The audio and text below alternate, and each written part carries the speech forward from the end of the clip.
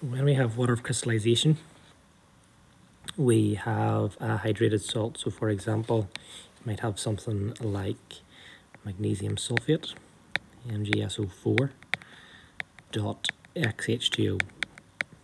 Okay, so we have that water of crystallization. The X essentially just means we don't know how much water's in there. Now, what I can do then is I can take myself an evaporating basin and into that evaporating basin I could add some of my salt. So I'll add my salt in here in green. And I'll just highlight that so we know that's our magnesium sulfate. And then I have my water which is chemically bonded into that. So we'll highlight the thing here, the water in blue to show that it's chemically bonded in there. Now, if I was to take that and I was to heat that up, what would happen is as I heat that, the water is going to rise up, okay? Um, and of course, if it rises up, it'll disappear and it'll evaporate off. The problem is, is that if I was to heat that for maybe only like five minutes, might only some of the water comes off. I might have to heat it and wait and heat it and wait and heat the constant mass to make sure all of it has evaporated away. Now, that will give me several things. First of all, the first thing I'm going to get is at the very start, I will have a mass of the evaporating basin, the mass of the salt, and the mass of the water. At the end, once the water is evaporated away, I will have the mass of the evaporating basin and the mass of my salt. I can use these masses to calculate the empirical formula of the water of crystallization. Now to start with, we'll make it a little bit more simple. What we'll do is we will just look at um, a salt without any evaporating basin. So let's say I have a salt such as copper sulfate and the salt is hydrated so I don't know uh, what my value of water of crystallization is. If I was to heat that up then I'd be left with my anhydrous salt, which is just the copper sulfate, and I'd be left with an amount of water. Now, let's say I start off with 250 grams of my hydrated salt, and after heating, I have 160 grams of copper sulfate. I can then work out that if I started with 250 grams of both my copper sulfate and my water, then I must have lost 90 grams of water to get to this 160. So whenever we were looking at our empirical formula calculations at the start of this topic, we would have worked out the number of moles of each element but this time we're going to work out a number of moles of the anhydrous salt part, so the copper sulfate, and the number of moles of our water part. So my moles is my mass divided by my MR. So in this case that's going to be 160 divided by 160, which is the MR of my copper sulfate. So that's going to equal 1.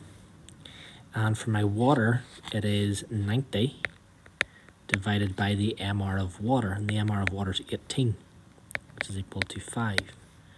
So what that tells me is my copper sulfate is in a 1 to 5 ratio. So therefore, my formula for my copper sulfate must be CuSO4 dot 5 H2O. Now, if we go back then to the practical application of this, sometimes in a question you could be given a lot more information like there is in this one here. Now, this actually just needs broken down to get the same two mass measurements as you had before. So we need to get to the point where we have the mass of the anhydrous salt and the mass of the hydrated salt. So First of all, we have the mass of the evaporating basin. So an empty evaporating basin weighs 200, sorry, it weighs 12.73 grams. So here's my empty evaporating basin at 12.73 grams. The next mass I have is the mass of my evaporating basin and my hydrated magnesium sulfate. So if I think about that visually, here is my evaporating basin. Here is my magnesium sulfate, which is in green. And I'm also going to add into that my water over the top. Now all of that, those three things have a mass then of 13.96 grams. Then I have these three other masses. Mass after 5 minutes, mass after 10 minutes, mass after 13 minutes. So after heating it for 5 minutes, I lose some mass. I go down 13.96 to 13.56. That tells me that some of the water's been evaporated. But after heating for 10 minutes, it goes down even further, so some more water has been left. So this is telling me not all the water has escaped. It's only until I get the same mass again do I know that all the water has evaporated for it to give me a mass of 13.33. But what is that mass? Well, that mass is my evaporating basin and my magnesium sulfate because all my water is now evaporated away. So that in total means that I have a mass of 13.33 grams. So to get my mass of my anhydrous magnesium sulfate, so I want just the green, I would have to take away the mass of the evaporating basin. But I have the mass of the evaporating basin here, so that's okay. So the mass of my magnesium sulfate would be 13.33 minus 12.73. The other mass that I need is the mass of just my water. If I want just my water, I have to take away the mass of the magnesium sulfate and the mass of my evaporating basin. I have both these values here. So there's my magnesium sulfate and my magnesium, sorry, my evaporating basin. So if I want just the mass of my water, I'll do 13.96 minus 13.33. So that then gives me a mass of my magnesium sulfate equal to 0.6 and it gives me a mass of water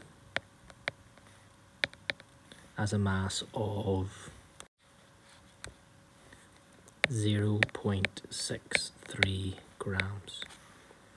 So I want to now find the moles of each of these. And once I find the moles of magnesium sulfate and the moles of water, I find the ratio of those two to get me my final formula.